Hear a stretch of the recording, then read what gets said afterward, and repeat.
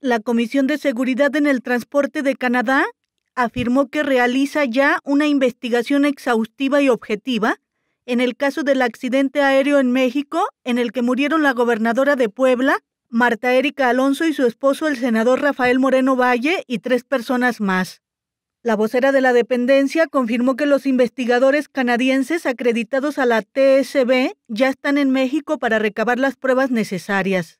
Detalló que las funciones de los representantes canadienses acreditados son apoyar y guiar a la autoridad de investigación extranjera para que se lleve a cabo una investigación exhaustiva. Para Noticel.mx, Sandra Ballesteros.